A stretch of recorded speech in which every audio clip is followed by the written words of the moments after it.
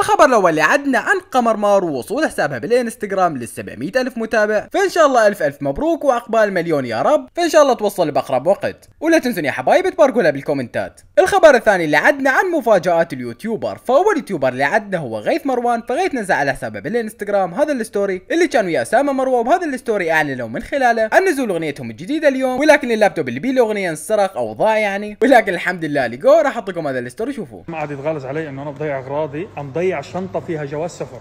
مو بس بس واللابتوب. وال video clip اللي حينزل المفروض بكرة صح؟ افتح السيارة. رجعت الشنطة. معقول مال حرام؟ هاي؟ ها؟ جايبة هدية. شكلي جايبة مال حرام؟ مال حرام؟ كم طلع مصاريف؟ ما بعرف كي- كيف يعني ضاعت. بس منيح لقيتها. لقيتها معناته نص نص.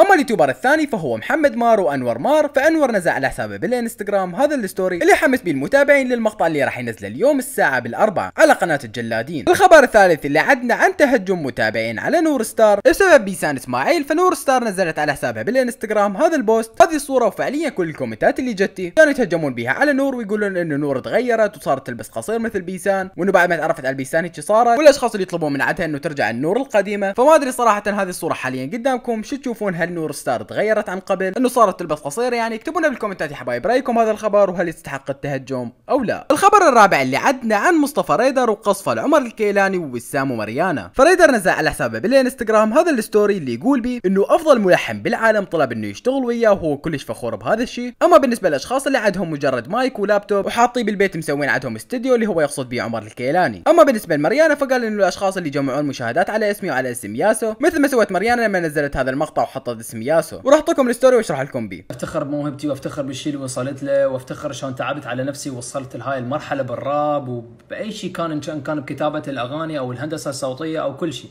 وهواي عالم اني YouTuber كتبت لهم أغاني وانطيتهم أغاني وجابت ملايين و- وسوت ضجة وهواي شغلات. كلش هواية. طبعا هنا يقصد وسام تيكت والاغاني اللي سواه وياها راح تقولوا لي زين هذا المحادثة اللي نشرتها شنو؟ حبايبي المحادثة اللي نشرتها هالمحادثة بيني وبين أحسن ملحن بالعالم، تخيلوا تخيلوا تعرفون يعني شنو أحسن ملحن بالعالم؟ يعني هذا الرجال يعني أحسن ملحن بالعالم، يجوك جماعة لا فاهمين بالراب ولا شيء مشتري له مايك ب 1000 دينار من باب الشرجي ولابتوب ب 10000 دينار من باب الشرجي وحاطن بغرفة ويسمي لك يا استوديو.